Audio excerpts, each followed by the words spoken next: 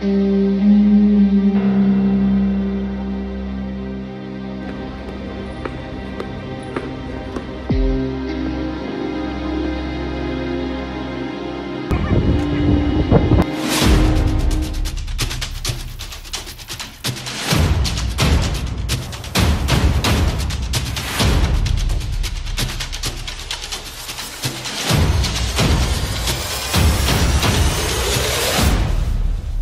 Everything you just saw was from the last eight months of my life.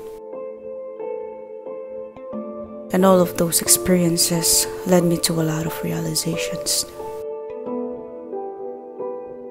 I wanted to use this video as a journal of all my adventures in the past 8 months and remember how amazing life can be.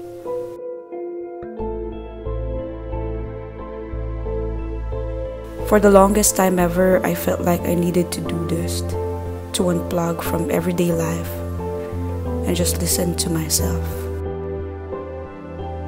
Ironically, I feel more comfortable traveling and seeing places because even a bad day of hiking is a day that you will remember. It's hard to explain why I'm so obsessed with it.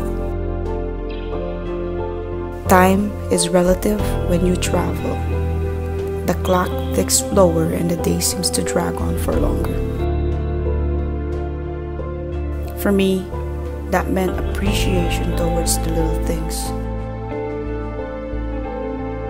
When you're back home, you never really look at where you live or the food that you eat.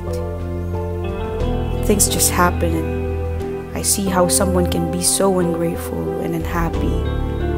But when you're out traveling, it's hard not to think about the comfort of your home. I see all these things now that I never paid attention to before. From a very young age, I had a fascination with experiencing new things. I enjoy not being told what to do. I like to create my own rules and be in this world only I can understand.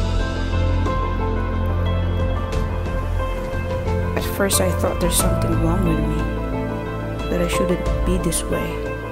But the more I fight it, the more I realize that I need to embrace the unusual and just be myself. So many of us have the ideas that may seem weird to everyone.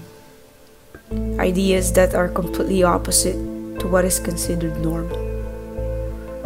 They put labels on you without knowing the why behind what you're doing let them call you what they want. You don't have to play the part they want you to play. Life is always meant to live, not just to survive. It's not really about the destination, it's always about the journey.